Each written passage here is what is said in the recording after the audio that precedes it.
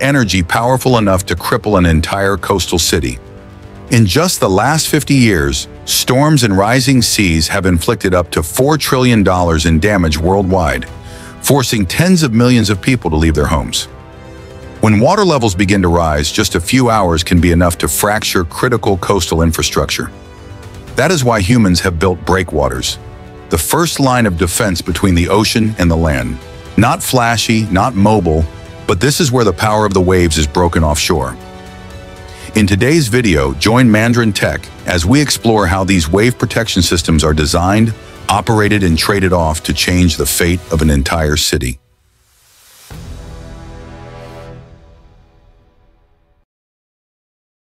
Oosterscheldekering. In the Netherlands, a country where nearly one-third of the territory lies below sea level, getting water control wrong can destroy ecosystems, inland navigation, and coastal livelihoods. Oosterscheldekering was created as an unconventional solution, intervening only when truly necessary while allowing the sea to operate naturally for most of the time. It is the nation's most famous hydraulic engineering project, protecting the lower delta from rising seawater and widely regarded as the eighth wonder of the world. At the peak of construction, around 1,900 engineers and workers were active each day in the North Sea. The structure stretches nearly 9 kilometers, comprising more than 60 reinforced concrete piers, each weighing tens of thousands of tons, positioned precisely on the seabed using specialized lifting equipment. Deviations of just a few centimeters could destabilize the entire structure. Between the piers are 62 suspended steel gates. Under normal conditions, the gates remain fully raised, allowing tides, marine life, and vessels to pass freely. This open design preserves the saline ecosystem of the Oosterschelde, one of the most important marine habitats in the Netherlands.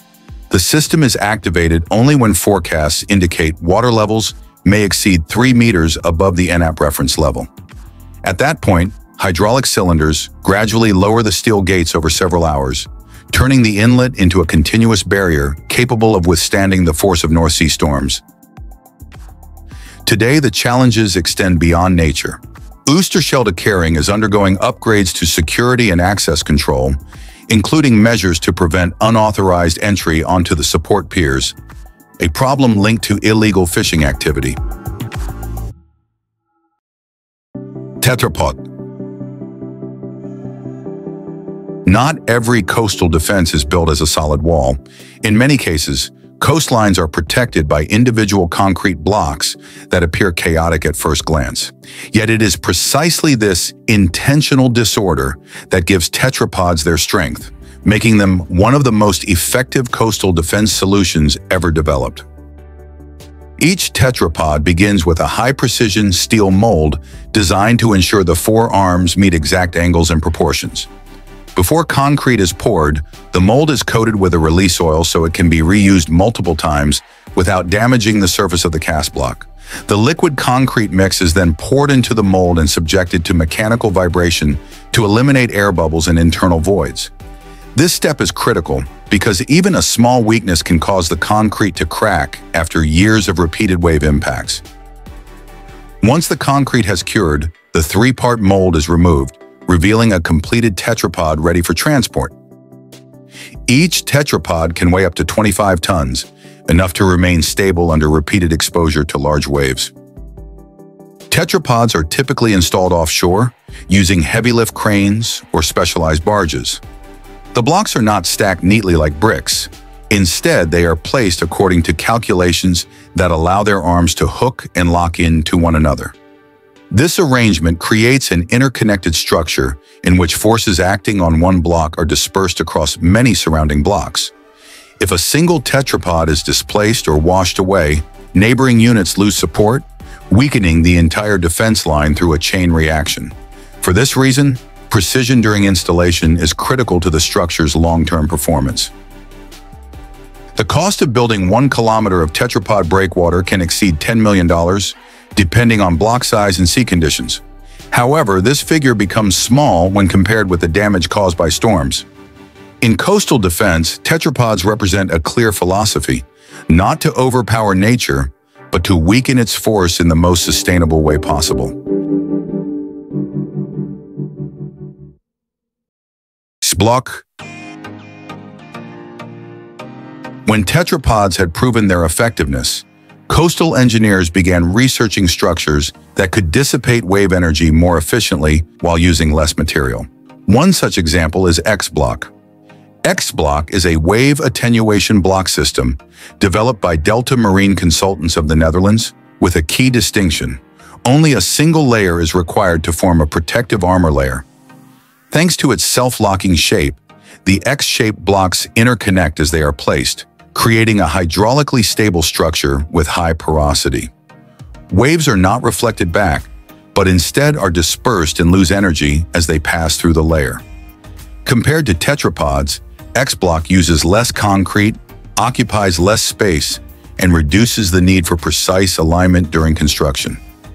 In terms of production, X-shaped blocks are still cast in concrete molds, but the process has been highly automated, shortening production time and ensuring consistent quality. In return, the system requires specialized factories and equipment. Today, Xbloc is being deployed along many coastlines worldwide, representing a clear trend. Coastal defense no longer relies on mass, but on geometry and the way wave energy is forced to dissipate itself. Great Wall of Japan As an island nation with an almost endlessly long coastline, Japan has been forced to invest on a massive scale in breakwater systems to protect its infrastructure from storms and tsunamis. Along the northeastern coast, from small fishing villages to industrial towns, a massive concrete wall runs parallel to the shoreline. In many sections, the wall reaches heights of 12 to 14 meters, equivalent to a four to five story building. When considered across the entire region, the total length exceeds 400 kilometers, enough to immediately evoke comparisons to a modern Great Wall. This is not a single continuous structure, but a sequence of defensive lines, some sections tall, others lower, some press close to residential areas, others set back against rocky cliffs. Each segment is individually designed to match local terrain and coastal risk levels. From an engineering perspective, this is a monumental water defense structure. Its foundations are deeply reinforced to resist erosion, while the concrete elements must withstand large waves, reverse currents, and earthquakes simultaneously. The total construction cost runs into tens of billions of dollars, making it one of the most expensive disaster prevention projects in the world. From the moment construction began, the system sparked intense debate. The towering walls block views of the sea, alter the landscape, and sever the traditional relationship between coastal communities and the ocean. In return, Japan accepted a clear trade-off, sacrificing the view in exchange for life.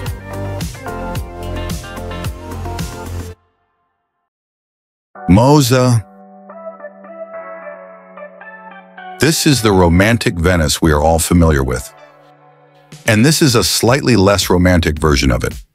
Flooding is no longer a rare event, but has become a part of daily life here, with both its frequency and severity increasing significantly over the past decades. Beyond reinforcing shoreline structures, the city needed a stronger and longer-term solution. That is why the MOSE system was created, a network of massive floodgates designed to isolate Venice from sudden storm surges. The MOSE system is specially designed with 78 floating steel gates installed at the three main lagoon inlets, with dimensions varying by location. Each gate is a massive hollow steel structure, approximately 20 meters wide and about 4 to 6 meters high. MOSE is activated only when tidal levels exceed 110 centimeters above mean sea level. Once activated, all gates rise, forming four continuous flood barriers. The gates are held at an angle of about 45 degrees, while the system continuously adjusts the amount of water inside each gate to maintain a safe and stable inclination. When the flooding event ends, water is pumped back into the gates to weigh them down, and they gradually return to their horizontal position on the seabed. The system integrates modern mechanical, hydraulic, and sensor technologies, allowing water levels to be controlled with near-perfect precision. It also represents a major advance in lagoon research and management, providing valuable data on tides, currents, and climate change. Thames Barrier Spanning the River Thames at Woolwich, the Thames Barrier is not a fixed dam, but a movable shield that can be raised and lowered against the tide. With a total length of approximately 520 meters, when it was completed in the 1980s, it was the largest movable flood barrier ever built, and to this day remains an icon of urban hydraulic engineering. The entire system consists of 10 massive steel gates. The four outer gates function as fixed defensive sections, while the six large central gates are designed for flexible operation. Under normal conditions, the central gates remain open, allowing ships to pass and the Thames to flow naturally through London the city almost forgets that this shield even exists. When forecasts indicate that water levels may exceed safe limits due to storm surges, North Sea storms, or upstream flooding, the order to close the gates is issued. The process takes about 90 minutes, during which the steel gates rotate upward from the riverbed, forming a continuous wall across the river. Each gate can rise up to 20 meters, capable of withstanding the pressure of thousands of tons of water pushing towards central London. During peak tide, the system remains closed for four to five hours, preventing floodwaters from inundating low-lying inner-city areas. Once water levels recede, the gates are lowered back into position, restoring the river to normal navigation and daily use. In essence, the Thames Barrier does not seek to tame the River Thames. It exists to intervene at precisely the right moment, for just long enough to protect approximately 1.42 million people and hundreds of billions of pounds worth of property in London. It represents a modern form of defense, not permanent but always ready, a shield that appears only when the city truly needs it.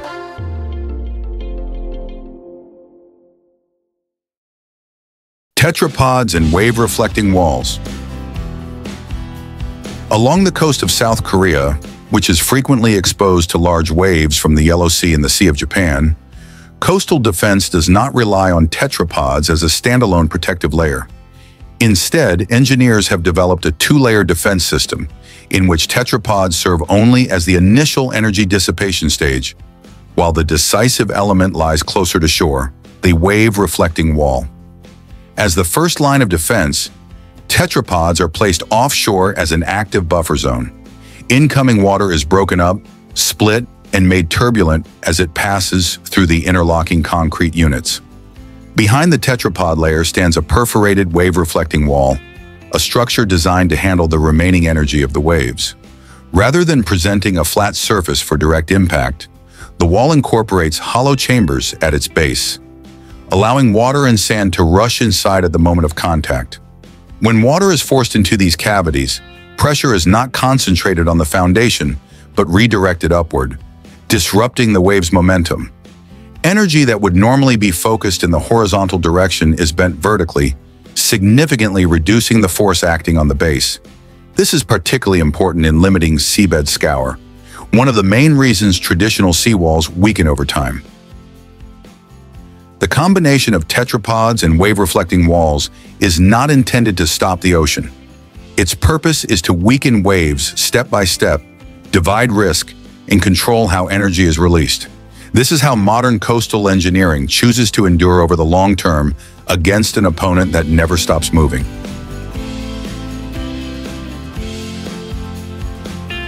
Before the vastness of the ocean, humanity has never truly been able to control nature. What engineering can do is only reduce risk buy time to react, and create a fragile buffer between disaster and everyday life. Coastal defense systems, therefore, are not symbols of power, but expressions of caution and an understanding of limits.